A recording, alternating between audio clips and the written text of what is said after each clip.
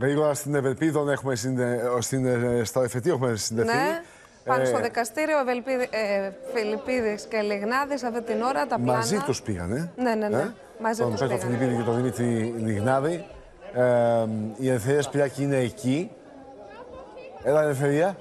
Με ακούτε, καλή Ναι, σας ναι. ημέρα. Μόλις Ναι. τώρα εισήλθαν στο Μητόρκο δικαστήριο και ο Δημήτρης Λιγνάδη και ο Πέτρος Φιλιππίδης. Έγινε κοινή μεταγωγή. Μας είχαν ε, ενημερώσει οι αστυνομικοί γι' αυτό. Μάλιστα, μας είχαν οριοθετήσει κιόλας ούτως ώστε να μην εμποδίσουμε την ε, πρόσβαση εντός του κτηρίου. Θα δικαστούν ακριβώς την ίδια ώρα.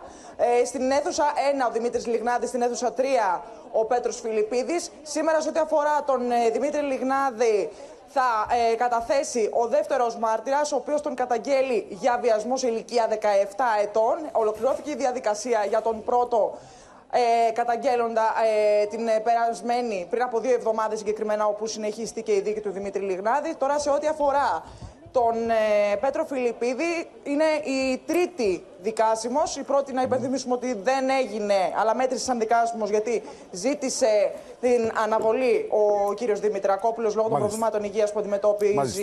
ο κύριος Φιλιππίδης. Σήμερα συνεχίζεται και αναμένεται να συνεχιστεί και κλεισμένων των θυρών. Μάλιστα. Γιατί Ωραία. δύο εκ των ε, θυμάτων ζητάνε να διαξαχθεί και κλεισμένων των θυρών με για περισσότερη ασφάλεια δική τους.